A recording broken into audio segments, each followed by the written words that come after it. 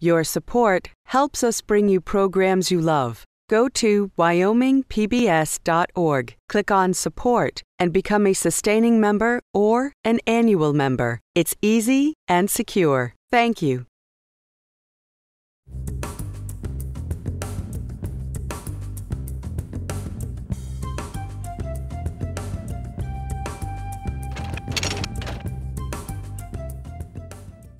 The idea was simply, wouldn't it be neat if the Jamaican bobsled team used Evanston as a training base, as a hometown, a home away from home?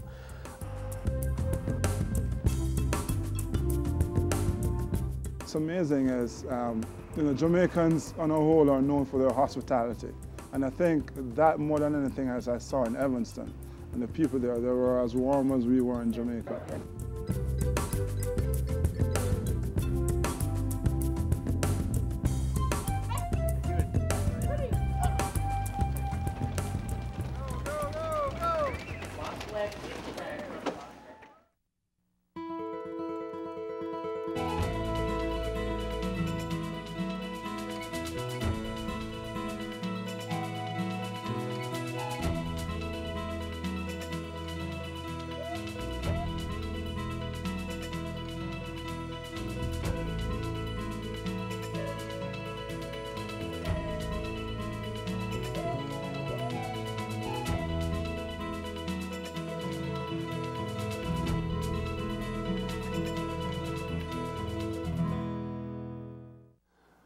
Rulon Gardner was the unexpected star of the 2000 Summer Olympics. He beat the unbeatable Russian wrestling Goliath and gave Wyoming a hometown hero. Well, now it's 2002 and the Winter Olympics are underway in neighboring Salt Lake City, so who do we root for in Wyoming? Well, how about Winston Watt?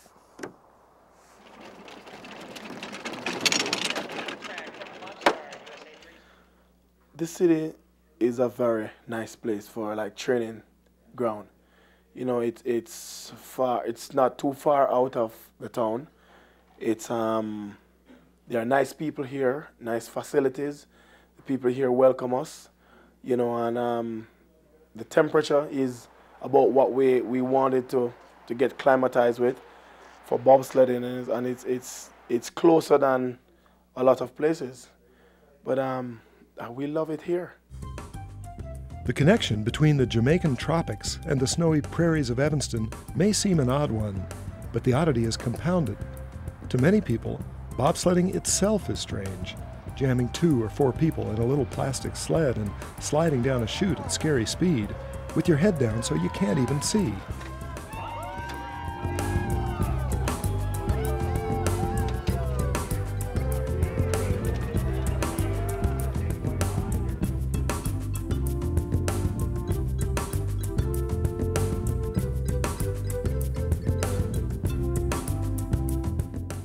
Never been in snow, never seen snow, um, you know, personally. I've been nowhere where there was ever any snow. I've, I've never seen a sled outside of, you know, on the movie. And my first experience on a bob track was in Lillehammer, which, to be honest with you, it was my first ride down. I was I wondered to myself, what am I doing here, you know? But unsurprisingly, on my way down, that's all I was thinking. You know, what, what am I, you know, what am I really doing here? After I finished, came out, take off my helmet, turn the sled over, I want to go again. You know, and I've, I wanted to go again ever since. Clive is one of a succession of Jamaican bobsledders dating back to the 1988 Olympics, where the first Jamaican team competed and inspired the Disney movie Cool Runnings. One of the members of that 88 team was Devon Harris. He says the movie was partly fictional, but caught some of the spirit. Let me just say that um, the, the movie, I thoroughly enjoyed it. I thought it was a, they did a very good job in depicting the spirit of the team as underdogs fighting to overcome the odds. Um, and I enjoyed it because I thought it was a really good human interest story, but that's kind of where the similarities end between real life bobsledders and, and Hollywood. That's what they want, is to prove to the world they can do it. It is not a joke to them. They've appreciated the Disney coverage, but you know, they chuckle whenever you, as Devon says, which one were you in the movie? Devon always answers, I was the handsome one. And uh, that's about all they want to say about the movie. Paul Skog, an attorney in Evanston, was the one who imagined this improbable match the Jamaican bobsled team and Wyoming. This was back in 97. I was uh, preparing for um, Nagano, and I got a call from uh, a lawyer, and I go, hmm, I didn't do anything wrong. Why is a lawyer calling me? Well, it was Paul Skog from Evanston, and he, um, this was in May. We came out in May 97 to, to see the town. I don't know what I envisioned in the beginning. I just simply envisioned uh, a team coming to town, maybe renting apartments or renting a house, um, and really just more the idea of more of a home away from home. Beautiful town, beautiful people, really warm, friendly atmosphere, and um, you know the, the, the town actually took us in, adopted us, you know, provided housing, um, does the facilities at the high school, made a makeshift sled for us. They adopted us, and we in turn adopted um, Evanston, and you know the love affair really started then and, and has continued. I had no official sanction to be contacting them and offering the city of Evanston as a training base, but I thought that there were people here in Evanston who would give of themselves. Well, I guess it was about four years ago that the attorney here in town, Paul Skog, who has who has built this relationship with the Jamaican bobsled team, uh, came to me and was sort of in a bind and needed some rooms for them while they were here training. Um, I thought it was a great opportunity for Evanston and, and myself, and they're always very good guys and very uh, uh, customer oriented. You know, people relate to them, want to see them and meet them, and so I was more than willing to help them. It was a slow time in the hotel, and from that point forward, uh, it's just been a growing relationship to where we have sponsored them every year, every time they come up. I, I showed them around town. I showed them our high school facilities, which have terrific weightlifting rooms and running tracks. I remember one comment one of the Jamaicans made. We were standing on the track, it was a beautiful May day, and uh, they were looking at it, and it's a rubberized, uh, rubber coated track. And he told me, he looked at me, he said, We have nothing like this in Jamaica. And I asked what the significance was, and he said, It's easier on the legs. The rubber coating is easy on the legs and the knees.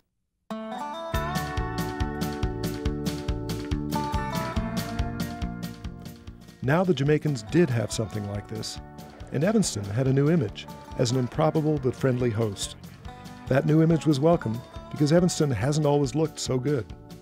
In 1868, when the Transcontinental Railroad came through, um, established a camp uh, right across the street on Front Street and uh, pitched tent for the night. And sooner or later, it, it, uh, it evolved to what's what's known as Evanston. Evanston's the name comes from surveyor James Evans, who was working for the Union Pacific and came through and surveyed the town, actually laid out the grids and so forth, and it became known as Evanstown. And that's how Evanston, the name came about.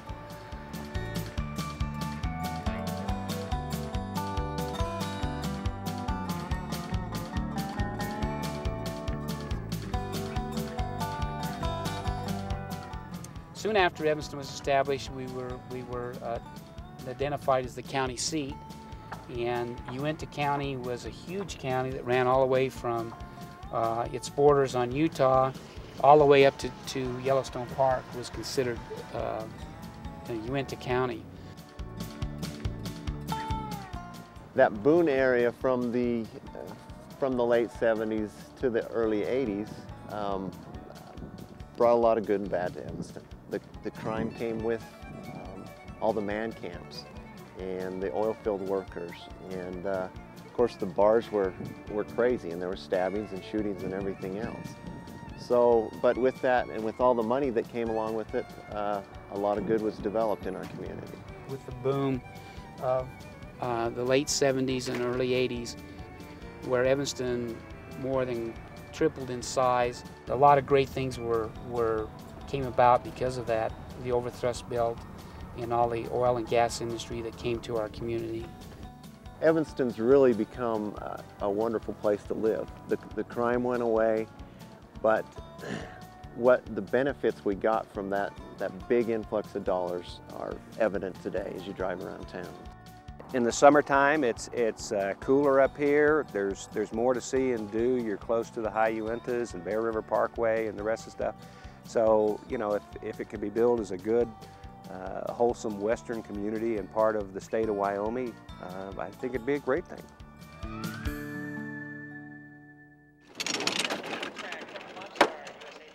Evanston, back as far as 98, um, took an aggressive approach towards the Olympics. Uh, Paul Knopf in the planning department put together a uh, master plan and a report, an Olympic report, uh, and presented to the council. And ex explored uh, other cities that have hosted the games and how the outlying areas were affected and interviewed most of the businesses in town and, and, and got a feel for what they expected from the Olympics. So we've kind of used that as a template for, for our Olympic promotions. And with, with only being 45 minutes from Park City where most of those venues will take place and a little over an hour to Salt Lake City, um, Evanston's had a lot of success in its Olympic efforts. our relationship with the Jamaican bobsled team started back in about 87 when, when uh, a, uh, a, local lawyer watched a movie called Cool Runnings and was so taken by that film that he, uh, he just thought what a great fit with the 2002 Olympics coming up in Salt Lake City. Let's invite them here. Great, great place for them to train. Park City's so close by. And uh, they came you know, to make a long story short, they, they ended up in Evanston and they've been coming back every, every year since then. And with, with a very warm welcome with the citizens. Um, the, the, the city of Evanston supports them in sponsorship. Um, you'll see great big letters, City of Evanston, Wyoming, across their bobsleds, which is like a, a traveling billboard. And, and the city has, has leveraged that relationship well.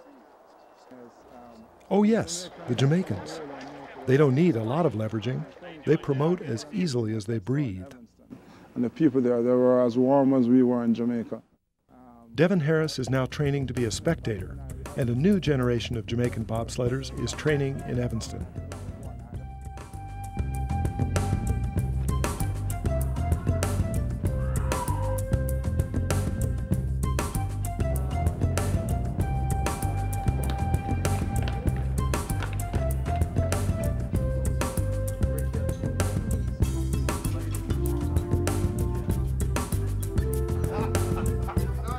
And they're winning races. They're not a comedy act at all. We're showing the world that we're from the tropics and we can win gold as just as the guys that who live in the cold.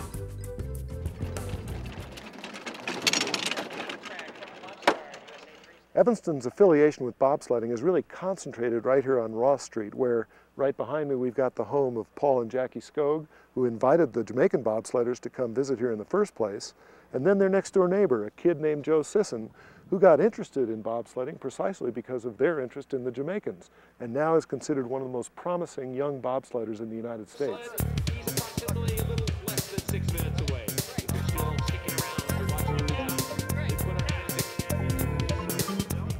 And uh, met them when they came up for the soccer clinic, and then started training with them when they came back. And one of them said, "Have you ever wanted to bobsled?" Like, yeah, of course you know, and he said, oh, you're the perfect build for it. You should try it out. So he took me to the track. We went and watched one of their races. It was 97 America's Cup race. And uh, I helped him with their sled, all that kind of stuff. I had no idea what I was doing, but I helped him out anyway. And then they hooked me up with the right people on the U.S. team, on the junior team, and uh, just kind of took off from there. Your dad told me it started even earlier. When I was, I think it was like probably third grade. Um, my mom, dad, and I went to the Park City Nursery um, to get some plants. And there was a sign that said future home of the Salt Lake um, Olympic bid bobsled and luge track.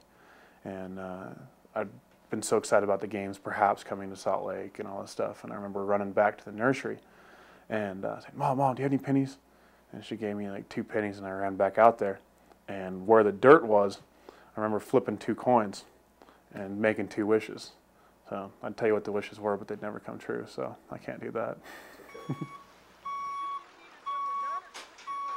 Uh, they started a new generation back in about 98 of some junior kids trying to build them up, starting them at the age of 16, 17, and then building them up into drivers. Um, I'm the only one that's still involved in that program actually. I started when I was 17, um, 21 now. I've been driving for four years. The top drivers in the U.S. have been driving for six to seven years, but they started when they were 25, 26.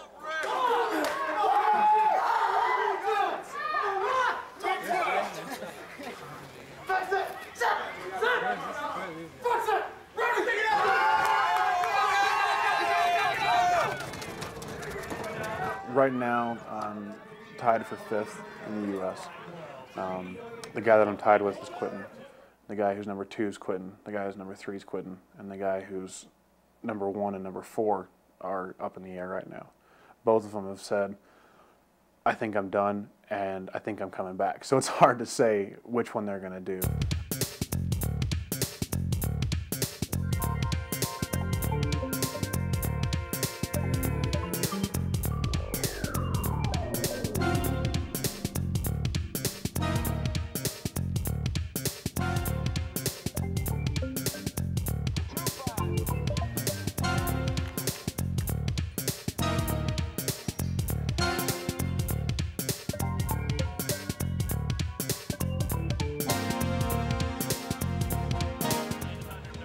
It's not Joe Sisson or the Jamaicans that you read about in the sports pages. If it's bobsledding, you read about the conflicts on the women's team, with star Jean Racine replacing her longtime brakeman. Or on the men's side, you hear about the brakeman on the first U.S. sled getting booted after a drug test. Sorry, I gotta take your prop. The big stars get the headlines and the sponsors. Not Joe, not Winston. So what I did, I go around, make a lot of friends, and the little money that we have, we, you know, pinch it here, pinch it there, you know, try to cut back on the expense. So we, and we try not to let stuff like that get us down.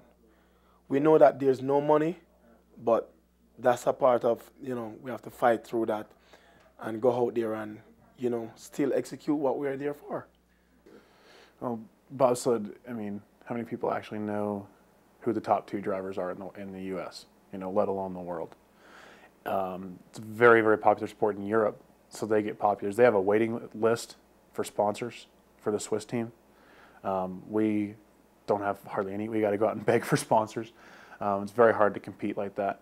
Bobsled is the second most expensive Olympic sport behind equestrian, and that's it. And that's only because the sleds don't eat. you know, I mean, sleds cost anywhere between 25 to 45 grand, and uh, you got to have two of those, a two-man and a four-man. And then you got your runners on top of that, which is going to be five to eight grand a for a set of those, and you'll probably have 12 sets of those by the time you get to World Cup winner status. Um, so it gets very, very expensive shipping sleds, shipping people, paying for people, all that kind of stuff gets very, very expensive. Um, myself, um, I borrow a sled. I offered them my old pickup truck to drive around when they came to town. What I gathered from that first meeting was yes, they did need help and they did need assistance and they were appreciative. And I've become somewhat of a, a contact person, a, a, a scrounge, and I go and I, what they need, I look for. And, uh, and that's what I've been pleased with because when I ask people in this town, just give. And um, the Skog family, they are so good to us. There's no word to explain how good they are to us. And um, I have to include them in everything that we're doing right now. They backed us 100%, you know, and things that Paul did for us. Um, I've never seen anyone did that for us. Leave, he's a lawyer, he leave his job, drive to Salt Lake City to pick us up, you know, stuff like that. I haven't seen anyone done that for anyone yet.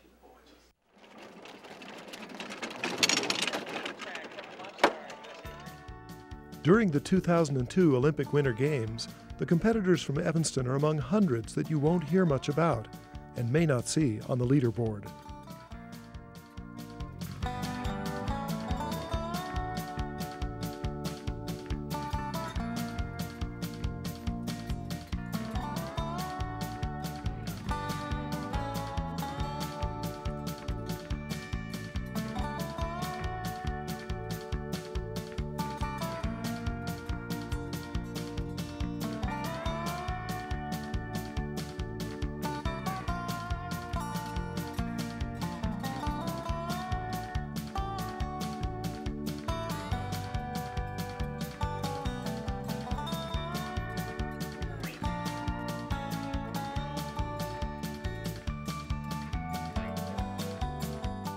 Evanston is only a short drive from the Olympic bobsled run in Park City. Strangely, though, the Jamaicans don't train there. I don't know why. I don't know why. I saw some people there training today, but um, unfortunately, I think they were Americans. I think they're Americans. U.S. bobsled officials decide who gets practice time on the track. And wouldn't you know, it's only the U.S. team. Everybody believes that the Olympics are kind of like a um, on a pedestal, I guess. Um, but it's very, very cutthroat.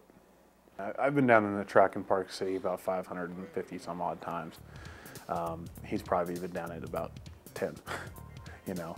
Um, anytime that he has any questions about any corners, I plan on talking to him about it. I plan on walking the track with him and showing him what I'm doing in different corners, just to help him out. Um, he helps me out a lot on pushing, um, which, like I said, was my biggest downfall, and driving is his biggest downfall.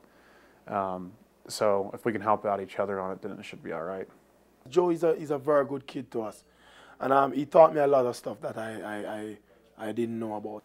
As in Winston, his strongest points is push. My strongest points is drive.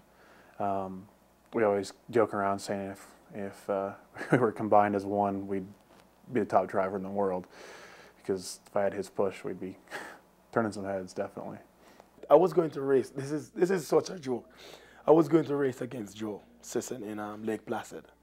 And um, we're walking the track one day, and Joe said to me, Hey, Winston, you must do this, do that, and you mustn't do this here, and you mustn't do that here. This is the correct thing you should do here. And I said to myself, Why is he showing me, and I'm going to race against him? First two runs, um, he crashed. The second run, or the first run, I can't remember what, the first run, he crashed the first run. Um, I ended up winning the race by over a second. Second place was over a second behind me, which is a huge amount in bobsled. The first day I was going like three seconds faster than everyone, which is a huge margin, where I crashed. I crashed and I still came fifth. Um, second race, first run, I drove absolutely horrendous. And with his pushes, I couldn't afford to drive absolutely horrendous. And he ended up beating me by over a half second in that one run. But the second day, I, the pushing has a lot to do in, in a race. And I, I started much faster than the rest of the world as the rest of teams was there. And um, I just drive well that day. And I watched him, I watched him what he did through certain curves that I was having problems. And I just go up there back and um, when I reach those curves, I, I just do exactly the same thing as he did. And, um, and then I came out on top. So he got me on that medal. Um, I got the silver. And that was kind of a shock by winning the race by a second and then coming in second and uh, that was a shock. So then we had the, the grudge match at the end to see who was the who was the better one, and I got him the first heat um, by I believe three hundredths, and that was it. And then the next heat I got him by about two tenths. So I was pretty happy about it, and and uh, got a big hug at the finish line from him and everything, and we just laugh about it still. So. And then I sit down and um, you know think about this and said, you know what, this guy is a real friend of us and um, it doesn't matter if we're going to race against each other, but he, um, you know, he's a big fan of us. I think the people of Evanston realize that sports is a competitive thing. Um, you don't have to be from the same team or the same country to like a team. I think they realize that within the Jamaican team we have a good spirit. There's um, competitiveness and we're very fun-loving people, very much like the, the, people from Evanston. And so they, they saw it fit to adopt us. They may not hope for us to beat the US team, but that is one of our goals, to beat all the teams that we compete against. For me, the, you know, the, the greatest thing that I can think of is to have a, an American and a Jamaican standing on the podium. I don't care where they stand on the podium. Uh, I always say there's plenty of room on the podium. There's three spots, Jamaican, American, and somebody else, and I don't care where. But that would be a great moment for me, for bobsledding, for America, for Jamaica. And Joe Sisson? Well, he'll keep getting in his old truck and driving down the road for another run dreaming a dream that a group of Jamaicans first dreamed in Kingston in 1988 and now dream in Evanston along Main Street, Wyoming.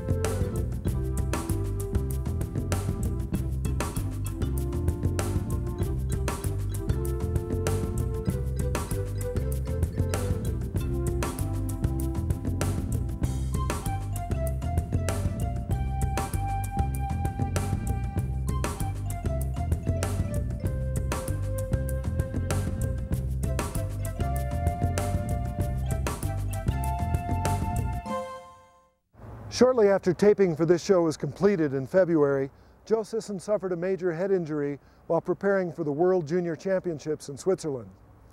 When he was a boy, Joe went with his parents to Park City, flipped some pennies at the bobsled run, and made a wish. Well, now we send our wishes and prayers to Joe and his family.